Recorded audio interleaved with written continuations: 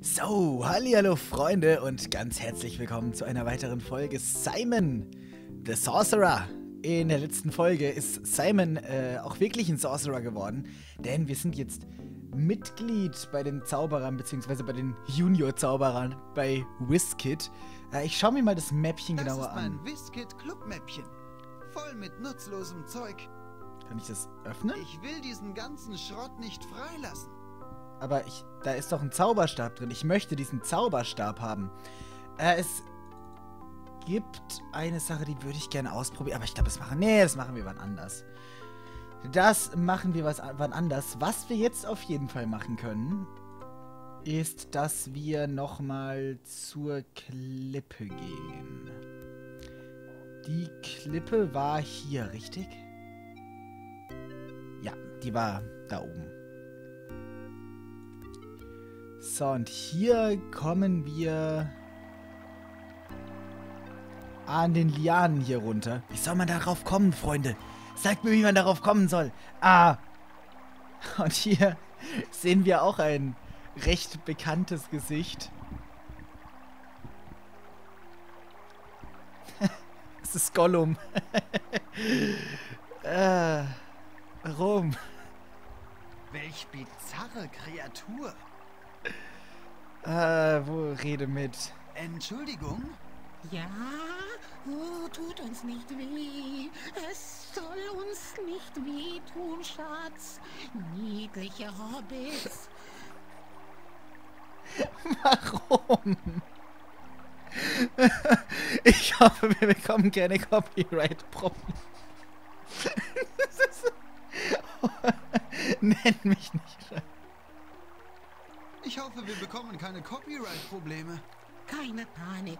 Es handelt sich hierbei nur um das alljährliche Treffen der Tolkien-Würdigungsgemeinschaft. So. Na, wenn sonst nichts ist. Und wo ist der Und Rest? Wo bitte ist der Rest? In dieser Höhle. Viel Spaß dabei. Heuer ist es meine Aufgabe, Essen zu besorgen. Ich hatte seit einer Stunde nichts zu knabbern. Oh nein, wo ist denn hier eine Höhle? Äh, zum Glück habe ich nahrhafte Sumpfsuppe in 1A Qualität bei mir. Warum stellt ihr nicht einfach eine Pizza? verrückt, ihr seid alle verrückt. Äh, Glückliches Jahr. Äh, Warum bestellt ihr nicht einfach eine Pizza? In dieser Höhle gibt's kein Telefon. Aha. das ist natürlich ärgerlich. Was macht ihr denn bei Und eurem was Treffen? macht ihr auf euren Treffen?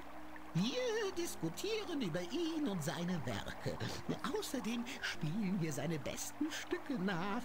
Deswegen das Kostüm.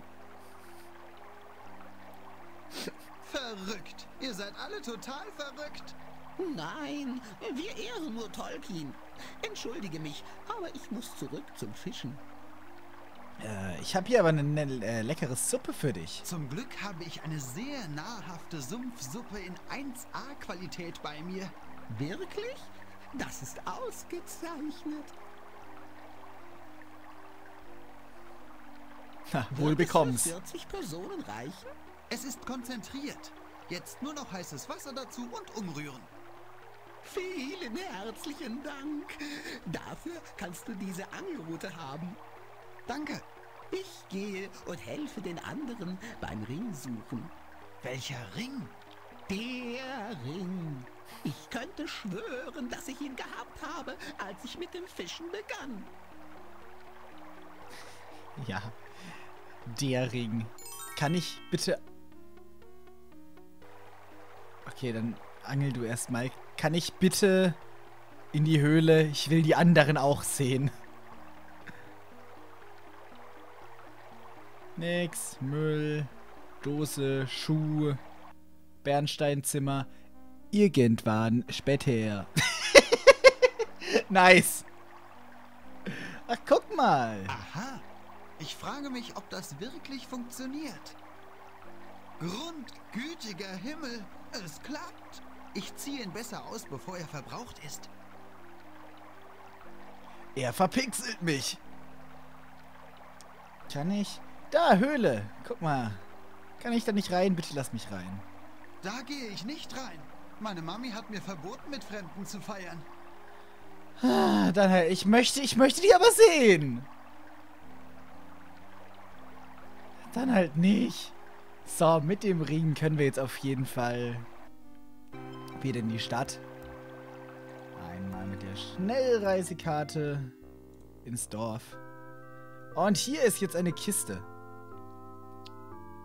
Das sind die ganzen Sachen, die wir ja bestellt hatten.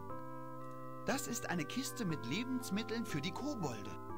Ja, wir hatten ja die Einkaufsliste. Können wir die öffnen? Wir, wir können sie nicht nur öffnen, Es ist dunkel hier drinnen. wir können auch Zum rein. Glück bin ich so klein. Ich möchte wissen, wann wir ankommen. Ich ziehe besser den Ring an. Gut. Irgendwas ist hier nicht so, wie es eigentlich sein sollte. Warte mal kurz. Oh, ich hatte ihn verkehrt herum auf. Ähm, kann ich jetzt, ähm... Ah! Okay, wir haben ganz viele Schachteln. Oh, da war... Moment, da war gerade irgendwas. Nimm...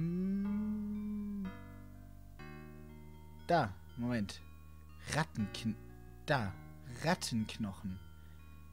Dann nehmen wir mal den Rattenknochen mit. Ähm... Schauen da wir jetzt ist mal. ein Haufen leerer Pappschachteln. Da ist mein Zauberbuch drin. Da ist das Zauberbuch. Dann nehmen wir das Zauberbuch. Wo ist es? Postkarte, bla bla, müsste ganz oben sein, ne? Da das Zauberbuch. Jetzt habe ich endlich mein Zauberbuch wieder. Da ist ein loses Stück Papier. Ah, das ist doch das Zauberbuch von ganz vom Anfang aus dem Intro, oder? Auf jeden Fall können wir jetzt damit. Äh, Es ist über und über mit Symbolen versehen. Anscheinend wollte jemand mein Zauberbuch benutzen. wir können das Papier mit der Tür benutzen, also unter der Tür durchschieben. Und dann mit dem Rattenknochen im Schloss rumspielen. Und wenn wir jetzt das Papier wieder nehmen, müsste da ja der Schlüssel drauf liegen. Wunderbar. Ein Goblin-Schlüssel aus zwei Zähnen und einem Stift. Ich, ich dachte schon, ich war gerade so verwirrt, aber der, das am Schlüsselbart nennt man ja auch Zähne. Von daher, äh, na, natürlich. Hallo, öff, öffne Tür. Danke.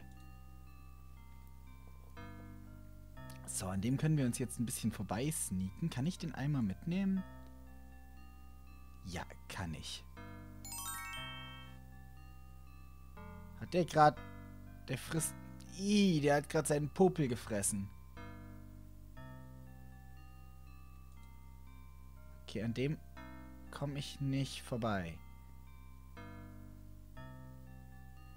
Aber wir kommen nach unten. Oh, wen haben wir denn da? Den Druiden. Eine eiserne Jungfrau, scharfe Sachen, heiße Sachen. Ah, hier ist das Doppelportal und Pfefferminzbonbons. Okay. Äh, Die nehme ich mal mit. Habe ich hier... Ah, doch, Brandeisen. Voll die Foltermethoden hier. Meine Mami sagte, fasse nie scharfe Sachen an. Okay. Ja, da hat deine Mami schon recht. Kann ich die eiserne Jungfrau aufmachen? Die Frage ist, will ich die eiserne Jungfrau aufmachen? Tatsächlich kann ich die eiserne Jungfrau äh, äh, aufmachen. Kann ich mit dir sprechen, Herr Druidenmann? Bist du der Druide aus der Stadt? Wer bist du, dass du Stimme, aber keinen Körper hast? Äh, ich habe meinen Körper zu Hause vergessen. Ich stehe hinter dir, ich trage einen Ring, der mich unsichtbar macht. Sei still, ich bin gekommen, um dich zu befreien. Sei still. Ich bin gekommen, um dich zu befreien. Mach keine Witze. Ja, ich bin der Stadtdruide und du stehst in Verbindung mit den Mächten der Finsternis. Äh, ich bin nicht, äh, wenn du Druide bist, wo ist de deine Sichel? Äh, oh Himmel, ich bin entdeckt. Wie kommst du darauf? Wie kommst du darauf? Ich kann deine Unnatürlichkeit fast riechen. Es stinkt. Verschwinde, Prinz der Dunkelheit. Na, Moment, lass uns einen Augenblick vernünftig sein. Moment. Lass uns einen Augenblick vernünftig sein. Ich höre mir keine weiteren Lügen von dir an. Verschwinde jetzt oder trage die Konsequenzen. Äh, ich glaube nicht, dass man in deiner Lage jemandem drohen kann. Über welch, äh, welche Konsequenzen? Ich glaube nicht, dass ein Mann in deiner Lage jemandem drohen kann. Deine Folter kann mich nicht verletzen, falscher Dämon. Tut mir leid, dass ich was gesagt habe, okay? Tschüss. Kann ich. Der eine Ring mit seltsamen Symbolen drauf. Kann ich den entfernen? Entferne Ring. Okay, und jetzt kann ich mit dem Druiden reden, oder? Rede mit Druiden. Meine Augen scheinen zu versagen. Oder ist das tatsächlich ein Kind? Ja, ich bin's, du weißt, der Fürst der Dunkelheit.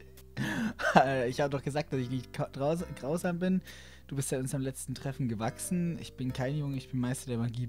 Okay. Ja, ich bin's. Du weißt, der Fürst der Dunkelheit. Ha! Du wirst mich nicht täuschen mit deiner Maske. Aber der Fürst der Dunkelheit ist doch Ossi Osborn. Äh, Sieh her, okay? Ich bin kein Dämon. Verstanden? Es gibt einen einfachen Test. Was ist dieser einfache Test? Es ist eine bekannte Tatsache, dass die einzige Waffe, die einen Dämon zerstört, ein Silberdolch in seinem Herzen ist. Wenn das Opfer dabei stirbt, dann war es ein Dämon. Lebt sein Herz jedoch und ist es rein, so kann es geopfert werden. Bestimmt findest du auf diese Weise viele Dämonen. In der Tat, es hat bisher immer geklappt. Das Problem ist, dass es halt wirklich so Mittelalterlogik war. Wir versenken eine Frau im See mit Gewichten und entweder sie überlebt, dann ist es eine Hexe und wir können sie töten, oder sie ertrinkt, dann war es keine Hexe. Ah, das ist unfassbar. Himmel, ich habe meinen Silberdolch vergessen. Gibt es nicht eine etwas mildere Methode? Aha, hat die Kreatur der Nacht etwa Angst? Hättest du das nicht auch, wenn ein verrückter Druide dich aufspießen wollte? Okay, lass uns lieber den bequemen Weg gehen. Siehst du das Silberkreuz um meinen Hals? Drücke es dir auf die Stirn. Äh, warum sollte das bequemer sein? Warum ist das zuverlässiger?